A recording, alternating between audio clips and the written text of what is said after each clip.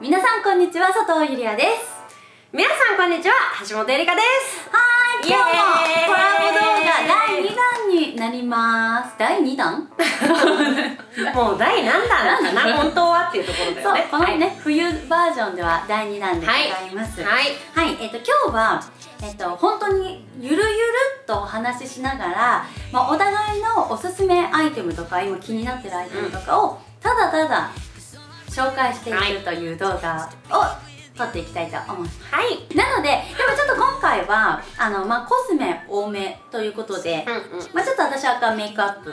でエリカはケア系が多めに。はい。はい。でまあ私もね別にコスメをいつも紹介してるわけでもないんだけどなかなかねこういう機会じゃないとご紹介できなさそうなリアルに、日常的に使っているものをご紹介できたらなって思ってますすごいでも本当にさこう使ってるね。使ってるよ。気になる。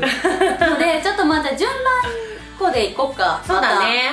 また。そうだね。えー、すごい。どっから行こうかな。でも簡単なのから行こうかな。そうだねそうだね。はい。まずこちら。うん。じゃじゃん。えい。えい。あった？来た来た。来た。はい、これこちら。もうみんなご存知 N ドットですね。はい。はい、そう私あのブリーチ毛なので絶対的にオイルがないともうっていう感じああやっぱそうなんだ。そう。痛みもそう広がりやすいから絶対対的にオイルが良くて、まあもちろんあのおしゃれとしてもねオイルなウェット感ねウェット感うん。は何必要だからっていうのもあるんだけど、まあ、そういう意味も込めてるよ実はっていうところもあります、でいろいろオイルを使いました私も。そう。そう。なんだけど N ドット流行ってるだけあるよねっていう感じ、これね私さっきこれ使わせてもらったんだけどさ、あのすごい軽いんだね。思ったより。そうだね、うん。そうそう。軽いんだけど、しっかりこう濡れ髪になるというそうことね。そうなの。そうそう。いろいろねその使ってきてやっぱり最初はいいんだけど乾いてきちゃったりとか、ああそうね。そう。あと少しこう軽すぎちゃったりとかいうのがあって、この N ドットはそれをね全部あの解消してくれるもの、うん。そうウェットキープも長いし、うんうん。そうテクスチャーもいいし、うんうん。そうそうそうそうっていう感じでこちらは何回もリピートしてます。結構しっかり入れてるぞえ結構ねしっかり塗ってるでも確かにそうだね。そうでもしっかり入れてあげないと本当ねブリーチ毛ってね吸収しちゃうのよ。あ入ってくるんだね。そう。だから、まあ、結構しっかりって言っても多分みんなが思ってるよりちょっと多いぐらいなうんうんうん。感じ、使うよりちょっと多いぐらいな感じですね、うん。そう。で同じくねねちょっと待って。何待って。ね。何？え ねええ？このイヤーカフめちゃめちゃ可愛くない？ありがとう今イヤーカフすごい探してるの。可愛いの 急に来えたよ。可愛くない？可愛いでしょ？ずっとつけてる。ずっとつけてるよ。ずっとつけてるよ。ごめんね、うん。あのほら今自分がすごい欲しいもんだからさすごい気になる。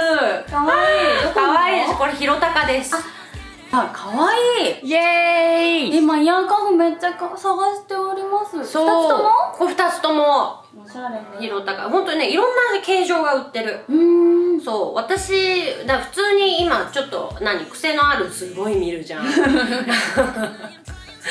あの癖のあるタイプをねつけてるんだけど、普通の丸い感じにダイヤついてるのとかあのダイヤがついてないものもあるしいろいろなねタイプが売ってるよ。えー、ちょっとチェックしてみる。めっちゃ可愛いねこれいいよね、うんそうなの。そう。イヤーカフな気分。うんうん。というかこういうほら無難系でも今なんかイヤーカフブームだよね今ね。時代なのそうだねピアスしないでもイヤーカフの人だけとか結構いるよね、今ね。種類がだからものすごく増えたと思う。イヤーカフ？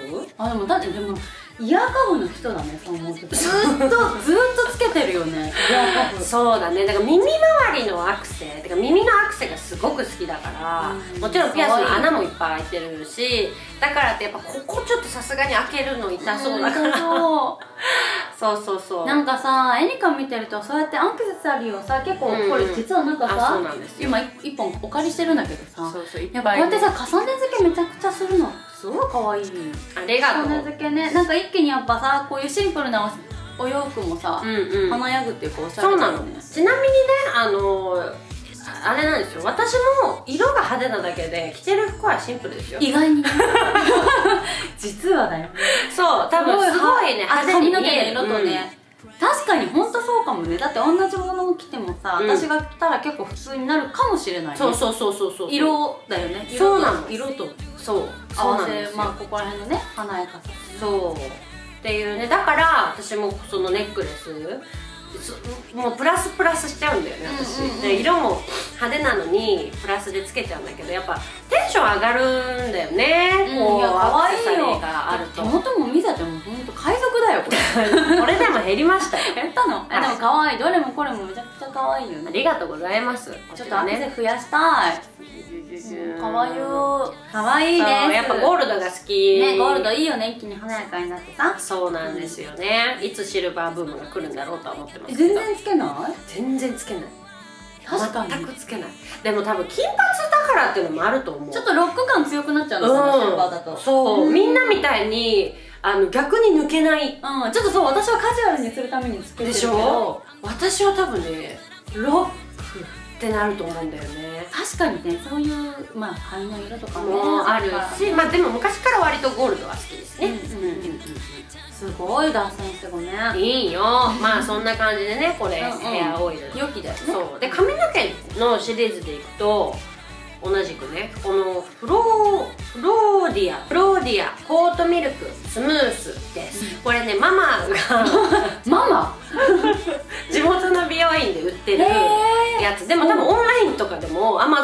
ってると思うんだけど実家に帰った時にちょっと髪につけるの貸してって言って使ったら、えめっちゃサラサラって。へえこのブリーチ毛がサラサラサラサラになるのよ。でも確かにさ、うん。オイルってあのー、なんだろう重さ出るけどさ、うん。浸透してない感じなんじゃん、うんそうそうそうそう。コーティングっぽいからさやっぱちょっとこう毛毛がパサッとしてる人にはさ、うん。ミルクだと中にしっかり入る感じがしてさそ良いっぽくなうい？良いっぽい。しかもお値段もちょっとおお手手頃。頃まあ多分ユリアみたいな普通の髪の毛の人にもいいし、うんうん。特に私はもうブリーチ毛だからこそすごくね感動してる。そうなんだ、うん。だってそうだよね。ここに今日激戦したメンバーに入るぐらいだからめっちゃいいってことだよね。そうなんですよね。気そう。になります。おすすめ。しかも香りもねいいよ。あそうなん。ちょっとつけてもいい、うんもちろんもちろんこれあれかなあ結構あれだね。ミルクはミルクでもこうプルプル系ミルクだうんね、うんうん。はいはい。すごく。はいすごい。いい香りだ。いい香りだよね。そう女性って感じ。女性って感じ。うん匂いがする香りするね。本当にねいいんですよ。うーんいいね。やっぱ口コミが一番そわかるよね。うそう、ね。ナイスママって。ねナイスママ。素晴らしいさすがですそう。で私がこれいいなって言ってたらねしっかり買ってきてくれるあ母の愛ですね。優しいんだよねママね可愛くておしゃれなんだよね。あー見てるか見てるの？いや全部私のものはチェックしてくれるタイプだから。嘘。じゃあママ見てんじゃない？見てると思うよ。わかんないけど。はい。っていう感じですね一旦私ははい。ね、あ一旦私はねじゃあ一旦受け取りますね。一旦ね。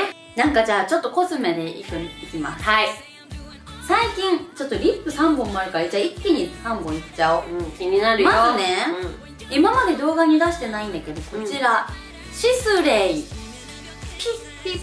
シスレイっていうブランドの、うん。あのリップをね、うこの前もらったのよ、んうんうん。そしたらこれこれすごいちょっといいお値段のブランドで、うんうん。フランスのものなんだけどリップがさもうねなんて言えばいいの？本当にこれまだ動画で紹介してないんだけどすごい軽いんだけど、うん。本当に美容成分がたっぷりすぎて、うん。ごめん塗ってたねさっき。塗ってたそうさっき塗ってた。あのたっぷりで本当にあの乾燥しないし、うんうん。あの特にこの15番っていう色があのどなたでも似合いますっていう確かに。色なの。なんか今時だね。そうなの。今時、だけどちょっとお上品なそうだね全部入ってるよね。オレンジも赤も。そうそうそうそう。ピンクももそうそうブラウンも。ピでねこういうクレヨンみたいなタイプだから、うんうん。さっきも言ってたけどさもうさささってこうさ鏡も見ずにさ私だいぶ結構ユリア昔から知ってるんだけど 昔から好きこのそう。スティックタイプ？あのクレヨンのね。そう。そう。そうそうクレヨンタイプ。そうなの。だって楽だ。からねって言って。角も取りやすいしさ。確かに。そう。だからさもう本当に急いでる時とかさ口閉じてさ確かにピッてね。うんってさできるっていうあの最近お気に入りのこちらリップです。いいですね。ヘイリー、うん。ヘイリー・ビーバーがなんか VOGUE のあのフルメイクの時にこれの何番だっけ？9番かな、うん。かなんかをうん。さささって塗っててめちゃくちゃ可愛くてそこから私は知ったんだけど。何もう勉強になる。セレブの方たちも愛用するような、えブランドさんなんだって。これさどこで売ってんの？いや百貨店に入っ百貨店で売ってる。そう百貨店でもあのねどこにでもある感じではない。そうだよそうそうそう。ねというちょっとこうねあの、うんケアしながらできる美容液リップみたいな感じで。いいですね。はい。最近こうよく使ってるリップとあと2本、こちらがねあのちょっと佐藤ゆりあんにしてはそう。あのベージュが強くないから確かに確かに。そうなの。最近さ、まあ、昔前はさ濃い色が好きだったじゃない、赤とかさ、うんうんそれがなんか最近こういうちょっとピンクベージュがとても気になっていうん。てしかもこれもマックのね、あのティントっぽいこういうベージュとか、これもシャネルのインクなんだけど、こういうのを1本で使うのも可愛いし、もうこう、えっと、こっちはティントでこれはインクでティントではないんだけど唇にピタって密着する系なんだけど、これを最初にさ1個仕込んでさ、うん。ベースとして塗って落ちやすいグロスってあるじゃん。ちょっとゆるい感じのさ、うんうん。グロスってこうちょっとなんかしただけで落ちちゃうんだけど、うん。こういうのがベースにあると結構落ちづらいのね私の感覚なんだけど、うんうんうんうん。っていうので、まあ、単色使いにもこうベースとしても使ったりしてるんえです、ー。はい。次はどうですか？私ですね。はい。じゃあちょっとリアルなやついってみようかな、うんこちら。何？じゃーん。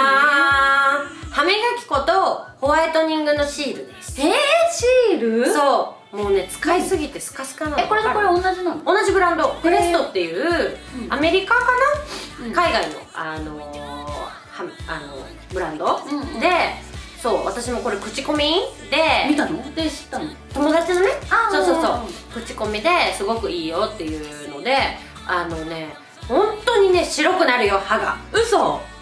本当に。すごい。そう簡単にうん。あのお手頃にへえ。っていう感じ。そうこれねあのシールタイプで上下になってるんだけどまずこれからいくと。これはあとねいろんな種類があるのクレストの、うんうん。このね。ととそううん私が使ってるのは、えっと、プロフェッショナルエフェクツっていううん。やつなんだけど、段階がねいろいろあって、あの多分強弱があると思う少し弱めのと結構強めのとかがあって割とこれ私強めのタイプのやつで30分ぐらいね放置しててっていう感じ。で、えっと、集中的に2週間ぐらいやると一気に白くなる。そう。なぜだろいやすごい海外。春？春だけ？春だけ？うへえ春だけであの歯の黄ばみ、うん。とかやっぱりご飯とかね食べてるとどうしたって黄ばんできちゃううんから、飲み物とかでそういうので集中的に最初私2週間ぐらいやったの。確かに歯真っ白 でも昔からねホホワイトニングはねちょいちょいそれこそやってたりとかをした、うんうん。あのマウスピースのやつとかも、うんうんけどそうこれに出会ってからはこれしかやってないんだけど、うんへえそうそうそう。あのーだから今は気になった時にしかややらない、たまにあちょっと黄ばんできたかなっていう時にやるって感じうん。だ一気に白くしたい時は2週間ぐらい一気にやるのがおすすめ、うん。で同じブランドのクレストの、えっと 3D ホワイトブブリリアンス。そうです。そうもうこれ使い切っちゃもうね。今やばいっていすうごい。感じなん初めてだけど知ったよ。そうこれもあのーなんだホワイトニング？クレストがね強いんだよホワイトニングに。うんそうそうそうそうそうそういうブランド。だからまあこれに関して言うと正直こっちよりもあの毎日使ってって何？他のと比べてないからさ他の歯磨き粉と。分かんないんだけどでも他の使うよりもきっといいだろうと思って使ううんうんもうこれでそんなに実績があるからあるから。ね。そうそう。でもどどっちかっていうとね研磨剤入ってる系な気がする。あ表面削ってる感じがする。うんうん。まあナチュラル好きな人にはちょっとあれかもしれないけど本当に白くした人にはまあおすすめかなっていうダブル使いえねこれ何どうやって買ってるの？これは、えっと海外旅行例えばハワイとか行った時にまとめて買ってくる。どこで？でも普通のそう大型スーパー系で売ってる。でもこれはもう好きすぎてこれもかどっちもだ。あのなくなっちゃったからアマゾンとか楽天で買った。あアマゾンで楽天であるんだ。じゃあちょっと URL 聞いとこう。そう、うん。で、だね。あの概要欄に貼っておきますね。そう。でも海外で買ったものが全然安いそうだよね、はい。行く人いたらじゃあぜひ買ってきてそうそう。お土産で買ってきてって感じだよね。感じですね。へえ、はい。気になる。はい。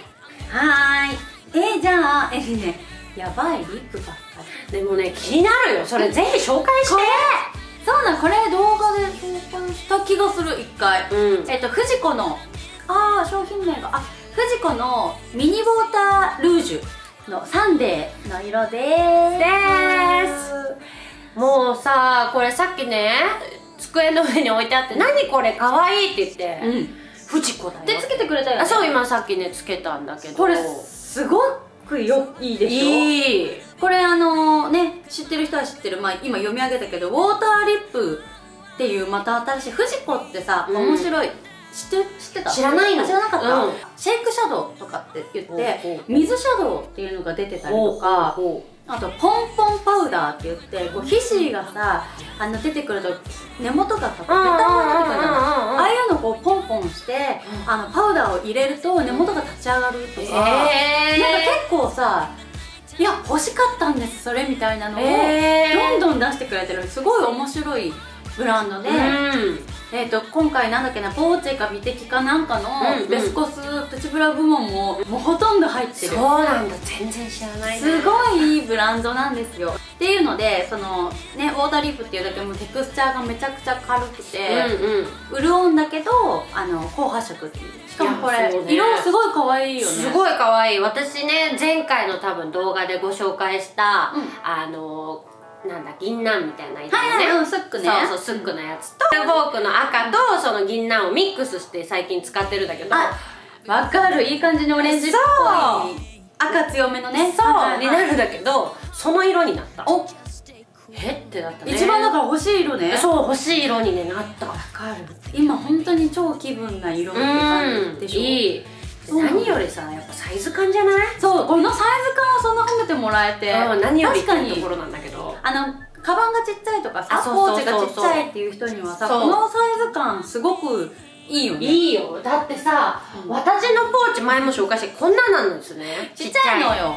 からもうほら見て。あ確かに。すっぽり入る。しかもこの2本分で1本でこの小ささ最高じゃん。ねこれね。えこれ見つけたら買っとくね。えありがとんうんだって。う 自分で買えよ 忙しいから。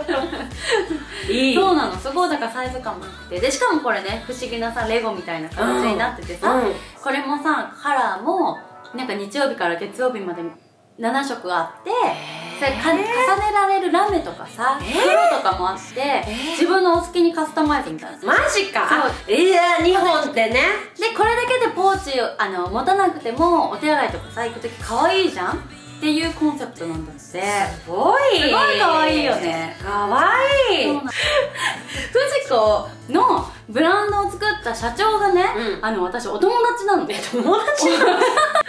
そりゃ詳しく知ってるわ。友達って言ってもね高校時代のバイト先の先輩なの、めっええめっちゃすごい。すごいでしょちゃ面白いじゃん。だからフジコがこんなに大ブームになる前から、あのコスメをね始めたっていうのを聞いててでも何より本当面白いさ、ものいっぱいどんどん作っててあのこの前も2人でね差し飲みとかした、うん。でもコスメ議論、それぐらいわそれそれこそ YouTube で見たいでしょ。すごい面白かった。本当に。ねっていう感じの,、あのなのですごいこう詳しくその作ってる人たちの熱意も汲み取りながらそう知れるっていうね。へえ。そうなのまさかなの。バイト先の先輩で、なんかでもいいね。あのそういうさ縁？いやすごい思った、ね。だって全然別だったしさそのバイトもさ、うん。で彼女もいろいろ全然違うところ行ってさ、うんうん。まさかここでこういうふうに一緒にさ、うん。なんか同じようなものをさ、まあコスメっていうね。コスメっていうところでさ、うん結びつくなんてっていう。いや素晴らしいね。生きてきたあれはさ本当無駄なことはないという違いない。この小さいリップに全ていろいろつなまってるということです合っねてるんでございます。いいですね。ありがとうございます。はい。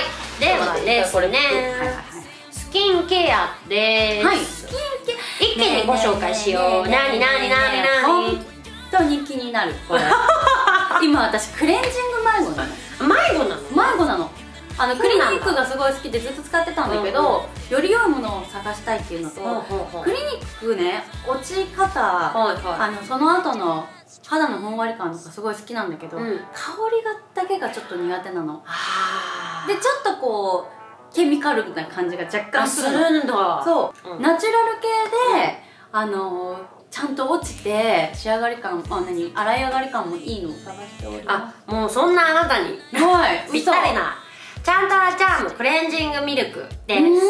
そうもう私ね全部化粧品に関して言うと、まあ、自分の実績実績っていうか 使ってきたものの確信してるのとあとはね口コミ、うん。本当にこれね友達に教えてもらったのそうなんか友達が私の友達がコスメキッチンで働いてる友達と、うん。まあ、だから3人知り合いね。今うん。これ知ってる、そう知らない。であの会った時にクレンジングの大事さを知った。だからちゃんとアチャームのこれ買ったっていうストーリーを上げててえめっちゃ気になるじゃん気になるよそれ。と思って、で私もそれこそやっぱクレンジング迷子よね、うんうん。なんかダブル洗顔はやっぱり人によると思うんだけどやめた方がいいとか、うんうんうん。で私もこう肌が荒れた時期とかがあったからダブル洗顔してたんだけど一回やめてみようと思っていろいろそのダブル洗顔な不要のものを探してて、うーん。でまあなんか使い終わったタイミングだったから私これもそんな高くないんだよね。多分へえそうなんだ、うん、3 4千円かな、うんっうん。ていう感じでまあ使ってみてるんだけどこれねもう3本目ぐらい。あすごいお気に入りじゃないですか。すごいお気に入り。へそう。これは、まあ、ミルクタイプでえっ、とねここにはね23プッシュって書いてあるんだけど23プッシュ多分出すと結構な量出てくるのえね、うん。だから私はねもう2回は出さないぐらいの1回半ぐらいの感じ、まあ書いてあるのが適量だと思うから実際は23プッシュ使った方がミルクいいかも。だからこうたっぷりで優しくそうって感じでもいいかもしれないんだけどかなりね伸びがいいんですようんこれ。でこれに関して言うとミルクあるあるかもしれないんだけど洗ってってこう優しくやってるうちにオイルに変わってきたらほうほうほうほう落としてくださいみたいな感じなんですよね。で私その知らなかったんだけどあの朝はもう水だけだったの。うんうんうん。そう。あの朝は洗顔しなくていいっていうのも聞くから、はいはい。と思ったんだけど朝もやるとこれで。これで？そう。へーなんか朝もやっぱり余分な皮脂とかのが出てるからその夜寝てる間にね。だからこれで洗った方がいいっていうのを聞いて、うんうんだから朝と夜これでやってます、うーん。そう。私もいろいろなんていうの使ってるからどれがこう肌にとって美しくなってったかっていうのは同じタイミングでいろいろ使ってるかわかんないんだけど、うんそうだよね。そうなんだけどこれを使い始めてから良くなったと思う。へえいや一時期ちょっとね鼻荒れ結構そうやばかった時があったんだけど今本当に綺麗になってそうそうそれのうちの一つかなってさっき言ってたもんね。うんだと思う。もういいってへえどこで買ったの？これはねコスメキッチンで売ってる。あコスメキッチンにあるんだ。そうでもめんどくさいからアマゾンで買ってる。アマゾンにもあるの？売ってる。へえ同じ値段？で同じ値段かな？ん。うん。え買います買います。いい買いよたいです。それこそ香りもいいし。あ出ました香り。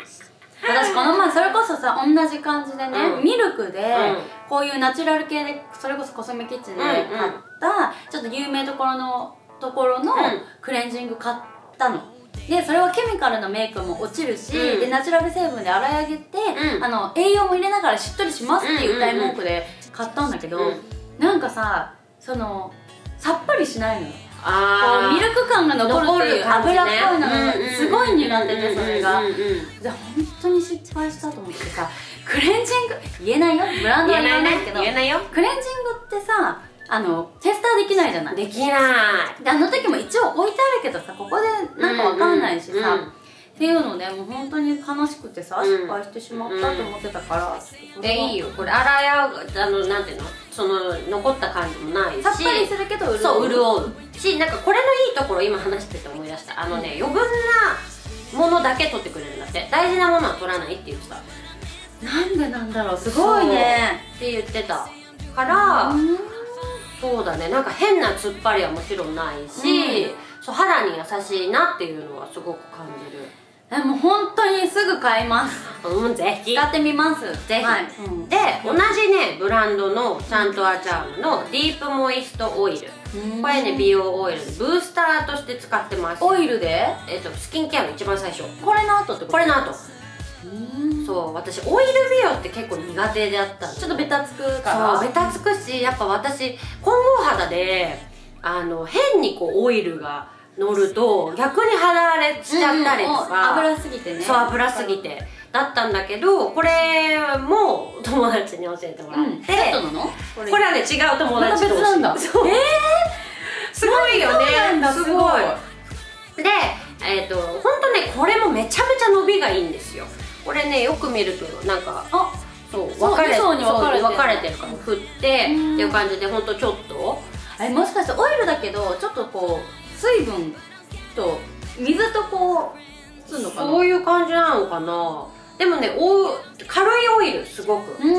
超ベタっとするっていう感じじゃうんうんさらっとしたそうオイルなのそうそうオイル。へでもなんだろういい感じにしっとりはするっていう、重すぎない感じがーうん。好きだからこれもね最近はやっぱ冬だから乾燥してるからいつもは夜しか使ってなかったんだけど朝のその化粧する時のスキンケアうんうんうんの時もあの夜よりは量を減らして使ってる、へえそう。え気になるじゃないか。でしょ？やっぱなんかブースターってあのーその後の化粧水とかがよく入ってくるんだってね、うんうんうんうん。そうそうそう。だからこれとこれは私同時期に多分使い始めてるんだけどあこっちも先だったかな、でこの後これだったんだけどあの肌がね安定した。あじゃあセットでもうお気そうに入りなんだね。そうなの。でこのまま続けますよ。行きましょう。はい。でもうこれももうなくなっちゃった、うんミースです。すごい。キラキラキラキラ。キラキラキラ。そう実はねすごく私も好きで最近動画でよく登場するんだけどあのまさかエリカが使っていると知らずにでもエリカは随分前からずっと使っていたという。そうなのそうなの、うん。そうミースのパックをね使っててでスキンケアあの化粧水が出たということで私も速攻買ったんだけど、うんうん。あのー、やっぱねいいんですね。なんかさ潤いと肌のキメを整える感うん。が私はすごい優秀だと思ったんだよね本当そうなんです。もうどれもねスタメンだからどれもいいんだけどやっぱこれを使い始めてちっちゃいプツプツとか、うん。そういうのがね出にくくなった気がしてる。えー、そうなんだ、うーんと思うしなんかなんだろうね。もう肌が生き返っていく感じがすごくする、やっぱこうターンオーバーに合わせてっていう感じはするよね、するそうなの。だから今まではもうオーガニックの化粧水使ってたのね、もうそれこそサラサラなうんうん。感じのでもうだから56回パシャパシャパシャパシャするやつね。そう疲れるぐらいパシャパシャするんだけど、これはねあの3回ぐらいうん。パシャパシャしてあの結構こうしっとりとろっとしてるからこう入れていく感じだよね。そう入れていく感じ。だから1回でも結構ね十分なぐらいうんもっちりする、そうもっちりするんだよね。そう。なんだろうねね。ねそう。っていうのでこれを使ってます、はい。であとはねヒット商品こちら何ですか？ベルダのスキンフードです、じゃじゃじゃーんスキンフード？全身用なの？そう全身用。全身用にしちゃこれちっちゃすぎるやつ。確かに。サイズねいろいろあるのね。そう。なんだけどお試しで最初買ってみてこのサイズを、うん。これもね口コミですお友達の。そうもう日々共有し合うそうだよね。からあれなんだけどね。そう私本当にね肌が弱くって、うんうんまあ、季節の変わり目だったり、まあ、体調とかももちろんそのホルモンバランスとかね。で結構肌が荒れやすいんですよ、うん。そう。でなんかそういうちっちゃいプツプツみたいなまあ赤いニキビもそうだけど白いニキビ、みたいのができやすいのね。でえーっとそんな中これがいいよって言われて使ってみてるんだけど、テクスチャーはね結構こっくりです。うん。これ何何？どういうことなの？クリーム。クリーム。あの最後に。最後の保湿クリーム。うー。んそう。あのこの間にもね見せてないものあるんだけどそれちょっとはしょってますけど、うんうんそうこれはねそう最最後の蓋的な感じでね。そうです。うん。結構こっくりですね。えー、ちょっといいですか？はい。使っ使ってください。あドイツ製だ。うん。そうなんかドイツではあなんかね薬用？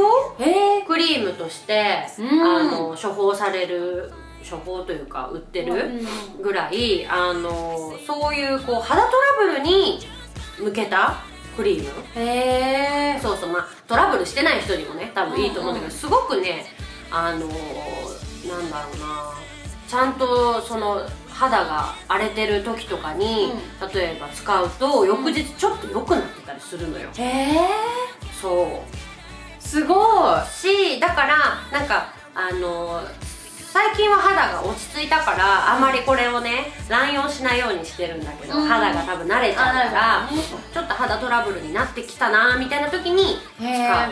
まあ、確かにちょっと薬用っぽい香りと言われればそうだよね。ハーブっぽいのかね。なんか自ね然な感じの匂いがするね。そう。なんかさこっすごいね最初こっくりしすぎてさちょっとあ油分多めかなと思ったんだけどどんどんどんどん馴染んでさ、うんうん。あのー重たいっていうかこっくりしてるんだけどベタつきはないかな、うんうんちょっと気になる人はティッシュオフぐらいでいいかも。そうだね。そうこれはだからね今の時期はやっぱ乾燥がすごいから乾燥肌の人にもおすすめだと思そうだね。めちゃめちゃしっとりするからこれはねいいですよ。ははい。あじゃあこれここら辺をこうねいろいろ間に入れつつそう。ライン使いしてるわけですそうなんライン使いとは言わないね。そうだね。バラバラこういう感じでね。そうだね。そうだね。でも気に入るものをライン使いじゃなくてもこうやって組み合わせて相性あるじゃん。あるスキンケアあもさるある。そう単体だといいんだけどさ組み合わせるとあんまりっていうのもあるから今うん。これはすごいエリカにも合ってるんだよね。そう合ってる。うん。うなの気になるものばかりなんですいがやーねでもこれも本当にやっぱ人から教えてもらっていいって言われて、一番そう。でもさやっぱ使ってみないと分かんない。わかんない。何ってユリアの肌にとってはよくても私の肌には合わないとかあるよね。そうさっきのダブル洗顔とかもそうだけど、うんうんダブル洗顔推奨してるとても綺麗な人もいれば、いや絶対ないでしょっていう人もいるからやっぱね試すことが一番いいんいだやでも本と思うよね。当でもそうかもね、うん。いいなと思ったら自分に取り入れていって、うん。うん。まあ確かにねそのなんか知識だけで私はこういうの好きじゃないとかよりもやってみてっていうのはねいいかもね、うんいいと思う。でさっき紹介してたオーガニック系のやつはねコスパもいいと思う、うんうんなんかそんな高くないし、うんうん。トライしやすい。なんかオーガニックコスメって本当に私最近本当近年うん。トライし始めたけど結構あの手頃だよね、あの手出しやすいよね。そう。それとやっぱさこう肌強すぎないっていうイメージがやっぱりあるから、うん。そこまで、まあ、合う合わないはあったですよ、うんうんあのすっごいこれのせいで肌荒れちゃったみたいなのはやっぱりあんまり聞かないかも。そうだよだからトラねイしやすいなっていう印象はそうそうそうそうう。んあるかもね。まあさっきのねこのミースとかはねちょっとそれなりのお値段はするからとりあえず買ってみて失敗したらって思ったけどもうねめっちゃリピートしてわますね。かる良い。よいいねですね。特にそのさっきも話してたんだけどパックは、うん。あの緊急性を伴うそう。肌荒れとかさ、うん。大事な日の前日とかさ、うん。そういうようにちょっとストックしておきたいっていう気持ちがやっぱあるのよ。そう。あなくなっちゃうみたいに最近ちょっと思うから、うん。なんかね一箱をちょっと家に置いといて大事な日の前に使うとかは、いいかもしれないいいと思う。すごくいいと思う、いい楽しいね。コスメ対談って感じだね。やっぱエリカさ、うんうん。そのなんか私あんま詳しくないからとかってよく言ってるけどさ、うんうん。やっぱすごくあのマニアックなもの持ってる気がする。本当？でも本当に詳しくなくて教えてもらって知ってるってだけよ。でも周りにやっぱ感度高い子とかさそうなのよ。多いよね。ありがとね。すごいよ。本当に友達に聞くあれが私もやっぱり一番強いそうだよね、本当にそうだと思う、友達に結構困ったら聞く。うんうん。なのでこういうね私たちの情報を皆さんにシェアしてうん。みんなで共有していきましょう。そうしましょう。はい、はい。ということでちょっとねゆるゆるっとした動画になりましたがはいはい今日はこんな感じで。そうですね。はい。ちなみに、えー、と今日は私たち2人ともアクテのお洋そう服をです。着ております。そうなんです。なので、えー、と気になった方は概要欄に URL も貼っておくのでぜひチェックしてみてください、はい。最後までご覧いただきありがとうございました。また次回の動画でお会いしましょう。バイバイ。バイバイ。See you! See you! I love you! ラブラブありがとうはい。あ終わっちゃっあ50分も喋ってあった。たいやめっちゃ喋全然喋ってるつもりないのにね。なんでこんな減らしたのにこんなに喋っちゃってどうする？だよどうする？でもみんな絶対気になることだと思でうよ。も素晴らしすぎてやば。やば。え やばねお腹すいた。お腹す